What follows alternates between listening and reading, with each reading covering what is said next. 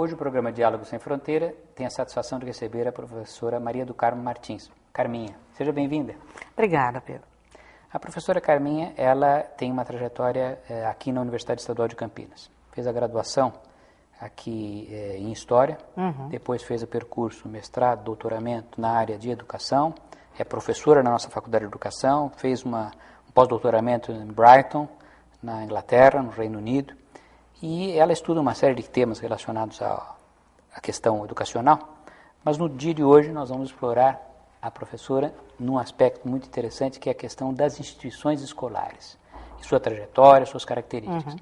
Então, para o nosso público que é, está nos ouvindo, o que é uma instituição escolar? Como é que nós podemos definir o que seria uma instituição escolar? É, uma instituição escolar é conhecida normalmente pelo nome de escola, uhum. não é? Mas ela é, é, um ambiente muito mais complexo do que o prédio escolar e a nossa experiência escolar. Nós chamamos de instituição escolar a trajetória de constituição é, do ambiente escolar propriamente dito, das relações sociais que se desenvolvem no, no, sua, no seu interior e todo o processo de organização da escola no sistema de ensino. É isso que vai dar a característica dela como um ambiente institucional. Então, tanto a constituição dela como ambiente de ensino, quanto a sua sistematização, do ponto de vista uh, administrativo, legislativo, gestor, que vai compô-la como instituição escolar. Né? Na nossa experiência, como nós somos já imersos na escolarização, nós associamos instituição escolar com escola. Né? Fazemos essa livre Agora, de, desde quando vem isso? Porque é, a professora mencionou que nós, para nós, a escola ela já está uh, no nosso cotidiano. Nós sabemos o que é escola, porque, digamos assim, hoje, hoje no século XXI, nós estamos com uma universalização do ensino. Quer dizer, então, todo mundo frequentou uma escola, frequenta uma escola, sabe o que é uma escola, mas isso não é tão recente assim, não é, não é tão recente, não é tão antigo assim é tão que, antigo. que nós tenhamos isso. Não, a escola, é, tal como nós conhecemos, com os componentes básicos, classe, didática, currículo, uh, disciplina, é, edifício escolar, profissionalização docente. Essa é uma instituição bastante contemporânea até. Ela, é, ela nesse formato, a partir do século XVIII, mas se consolida no final do século XIX e no, na história do Brasil, mesmo como, como grande componente da educação dos jovens e adultos, na, no século XX. Quer dizer, o século XX é o século da escola no Brasil. Mas a história da escola é uma história que a gente identifica com a modernidade. A passagem do período feudal para o período moderno, com a criação das primeiras unidades nesse formato, classe, currículo, disciplina e essas relações de profissionalização docente, ela é uma constituição da modernidade. E essa escola, eh, digamos assim, no nosso contexto aqui brasileiro, nós percebemos que, é, principalmente no início do século XX, é que se começou a difundir o, o edifício escola até. É, a escola normal, Isso. o grupo escolar, nas cidades do interior, quer dizer, então, qual foi o papel e qual é, é, foi naquela época e como isso constituiu uma, uma, uma imagem de escola? É, nós temos no começo do século XX, na transição do século XIX para o século XX, um forte investimento já no projeto republicano. Campinas é bastante exemplar dessa, dessa trajetória, inclusive. Já no processo de organização da República, nos seus primeiros, nos seus primórdios, o processo de desenvolvimento do modelo escolar eh, e da criação dos grupos escolares vai ser ampliado. Então, eh, em princípio, que a gente tem é uma expansão das redes de ensino pela organização dos, dos grupos escolares. O grupo escolar era, um, era um, já um, um, edifício escolar construído segundo características pedagógicas, quer dizer, uma submissão já da, do processo de arquitetura à definição dos processos pedagógicos e, em grande medida, se comunicava com os currículos da época. Então, havia toda uma regulação para a construção do edifício escolar, desde o distanciamento do solo, eh, todas as escolas Escadaria, deveriam ter porões, é. espaços de evasão, pátios. Então há uma grande, há um grande investimento na configuração dos grupos escolares. As escolas normais vão se desenvolver em grande medida nesse período também, é, já com um outro modelo mais adaptado à ideia das didáticas, do desenvolvimento da formação de professores, não é? É, é bom esclarecer justamente que hoje em dia, como já não existem mais escolas normais, que são para formação de professores. Eram escolas de é. formação de professores e foram as principais unidades de formação, elas funcionaram é, fortemente até os anos 80 no Brasil, é, algumas unidades um pouco mais, chegou aos anos 90, mas foi o grande modelo de formação. E o que representou, inclusive, a expansão do sistema escolar, porque para a expansão dos grupos escolares houve um grande investimento na formação docente, né? senão você não teria professor.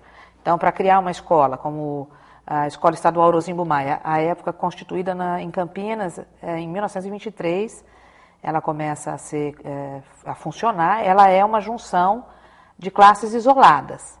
Havia classes isoladas, professores, mas a escola mesmo vai adaptar, vai pegar essas classes isoladas, especialmente na região central de Campinas, e levar para o quarto grupo escolar. Ela chegou a, a, ter, ainda nos anos 30, 800 matrículas. Isso implicava no uso permanente do grupo, não é? em dois períodos, com 12 salas funcionando todo o tempo. Era, um, era uma movimentação muito forte né, no, no prédio escolar. Agora, professora Carmen, isso me leva a uma questão que é a seguinte: há uma, uh, houve um investimento muito forte já naquela ocasião, no início do século XX, as primeiras décadas, em transformar a escola num elemento de ascensão social. Porque as crianças que conseguiam frequentar o grupo escolar, elas podiam almejar um pouco mais do que seus pais. Aqueles que conseguiam chegar à escola normal e se tornassem professores também conseguiam uma ascensão social, um efeito de multiplicação. É, então, eu queria perguntar, primeiro, é, o quanto esse efeito foi importante naquela ocasião uhum. e se hoje, no século XXI, numa situação muito diferente, se a escola con consegue também ser um elemento de inclusão social, de é, ascensão social das classes mais baixas. Olha, naquele momento a escola era associada a um projeto, eh, a gente diria um projeto civilizador.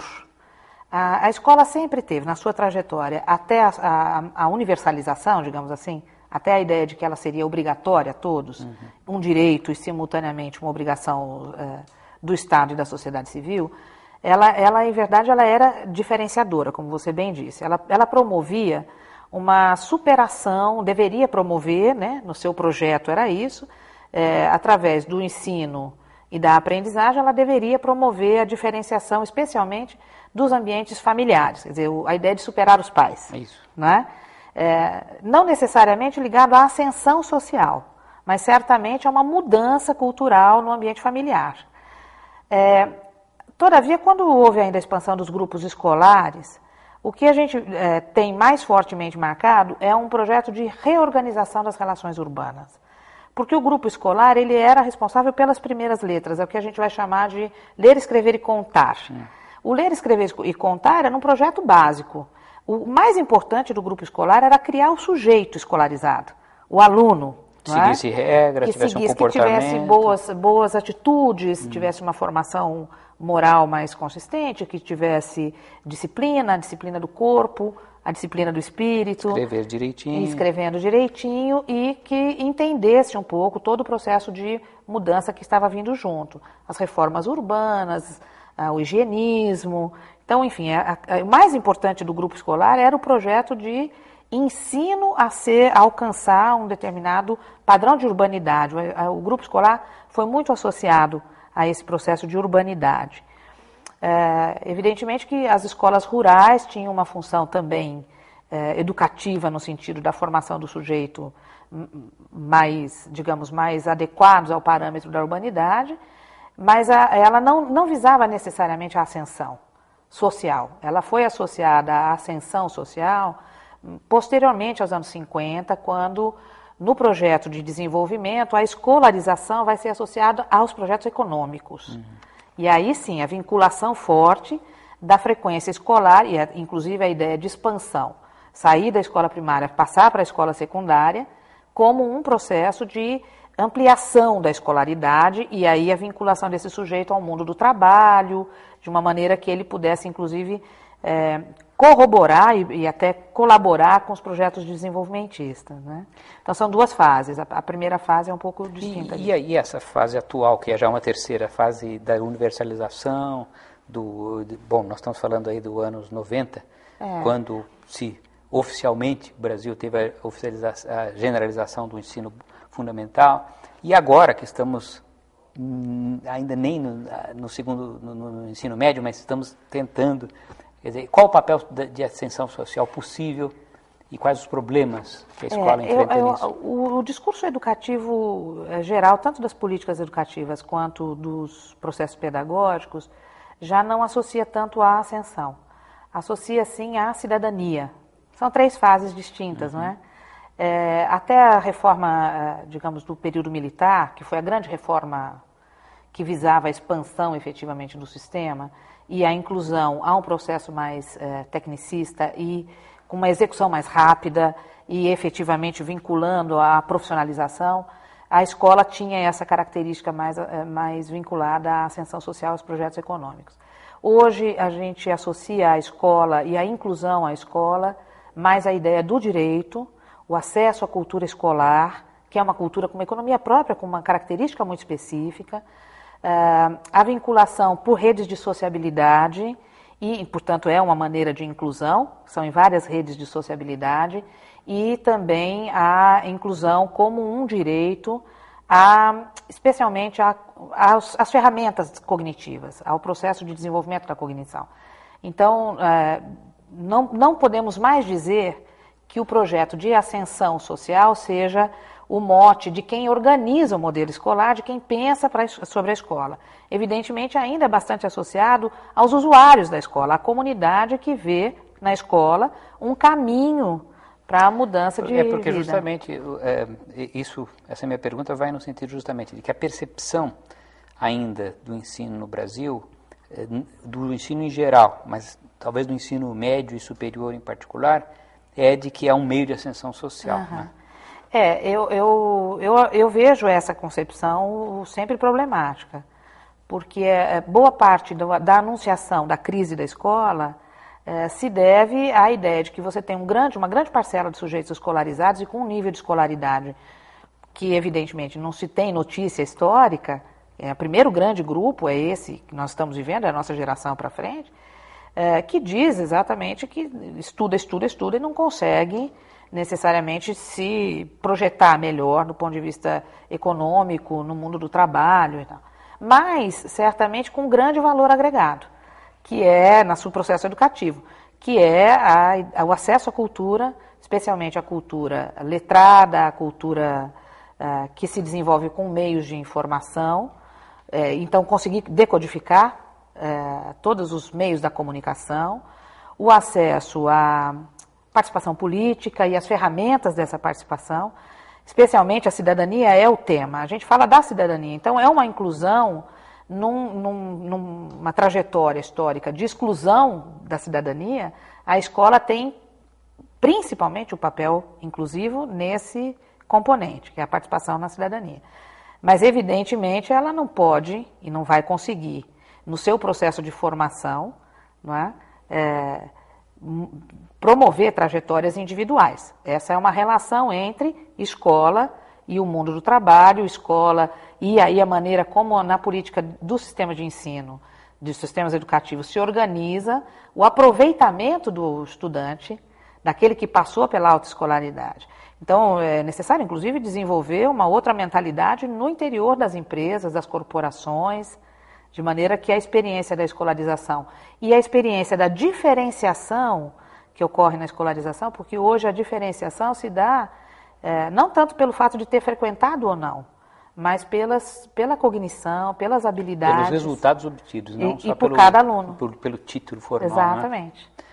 Olha, professora, a nossa conversa acho que foi interessantíssima porque fez ver às pessoas a, assim, a, que a, a escola tem uma trajetória, ela tem uma historicidade, ela mudou no tempo e ela tem desafios é, atuais que são muito particulares. Então, Isso. queria agradecer muito, professora. Eu pela... que agradeço muitíssimo. Obrigada, meu bem. Convidamos a todos ao próximo programa Diálogo Sem Fronteira.